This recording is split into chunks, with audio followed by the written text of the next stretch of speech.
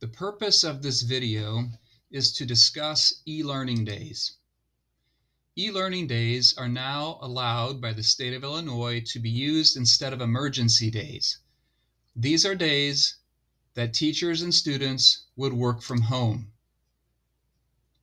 Typically, an e-learning day would be used when conditions prevent the use of a school building. Could be snow, could be flooding, could be the loss of water or heat or electricity in the community. Emergency days have always had to be made up at the end of the school year. E-learning days, because we're still considered in session, do not have to be made up. And that allows parents and students and staff to all know exactly when the last day of school is scheduled on the calendar.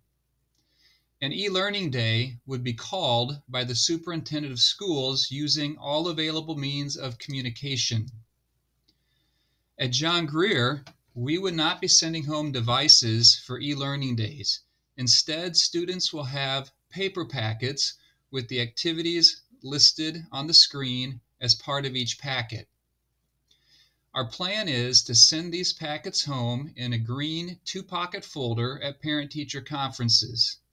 Each packet will be clearly numbered at the top in the title as being applicable to day one, two, three, four, or 5.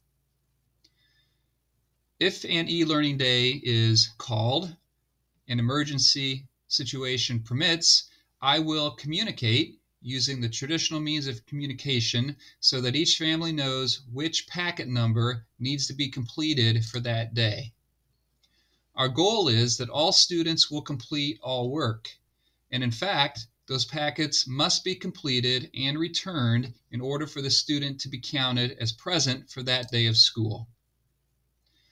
I know that's a lot of information in a short period of time. If you have any questions, don't hesitate to send me a dojo message or give me a call.